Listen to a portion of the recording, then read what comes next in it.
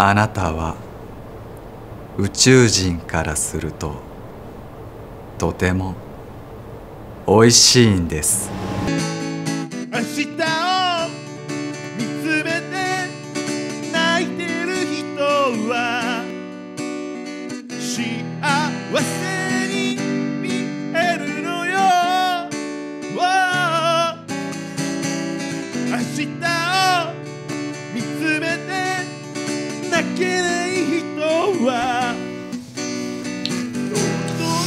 喋られる男と一緒にいたら楽しいんでしょう？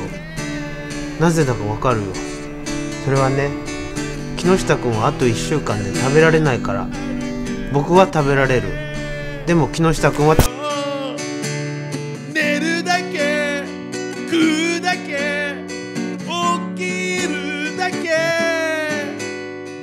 夜だけ夜だけ。